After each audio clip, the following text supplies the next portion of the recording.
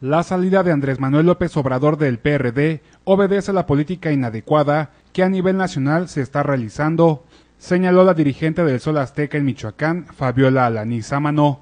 Es una respuesta a una política inadecuada de alianzas que se viene promoviendo a nivel nacional y que no solamente eh, lo ha planteado Andrés Manuel. Alaní Sámano dijo que en Michoacán está blindado contra la problemática nacional y en esta entidad está definido que no habrá alianzas con el PRI o el PAN en ningún municipio.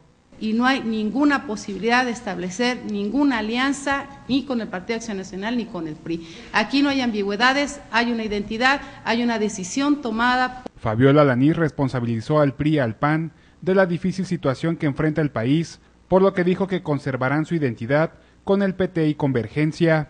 Vamos a cuidar el proyecto Michoacán y el proyecto de la izquierda, que no solamente está representado por el PRD, sino por los aliados históricos del PRD Michoacán, que es el Partido Convergencia y el Partido del Trabajo. La dirigencia estatal del PRD y el municipio de Morelia presentaron el proyecto político Morelia, una ciudad para todos, con el que se mostraron seguros de ganar la alcaldía de la capital michoacana. Con información de Sandra Sáenz, informa Cuasar TV.